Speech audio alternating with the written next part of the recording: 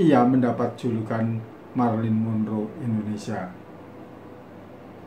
Tema ini menarik dibahas karena Nurna sejatinya adalah artis serba bisa.